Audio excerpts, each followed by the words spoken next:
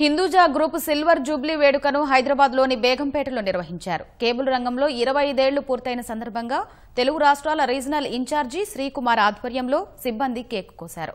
రాష్ట్ర ప్రభుత్వ సలహాదారు రామచంద్రమూర్తి ముఖ్య అతిథిగా హాజరయ్యారు.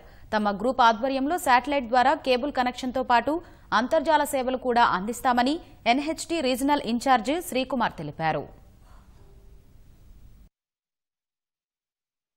ఈ ఇరవై ఐదు సంవత్సరాల ప్రయాణం అన్ని రాష్ట్రాలకి వ్యాపించటం అది కాకుండా కంటెంట్ డెవలప్మెంట్ని స్టార్ట్ చేయటం బ్రాడ్బ్యాండ్ని కూడా స్టార్ట్ చేయటం కేబుల్లో కూడా ఒక కొత్త టెక్నాలజీలోకి head and in the sky అనే టెక్నాలజీలోకి ఎంటర్ అవ్వటం అనేది కూడా జరిగింది.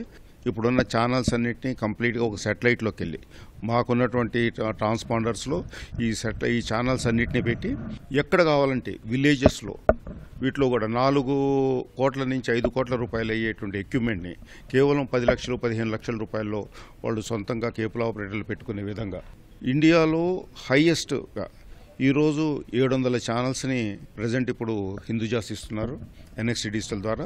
ఇప్పుడు ఎనిమిది వందల ఛానల్స్ని ఇవ్వటానికి ఇప్పుడు మీరు ఇక్కడ ఉన్నటువంటి అందరి ఛానల్స్ అన్ని ఛానల్స్ ఇండియాలో ఉన్నటువంటి అన్ని ఛానల్స్ని ఇచ్చే విధంగా దీనికి ప్రిపేర్ అనేది చేయడం జరుగుతుంది.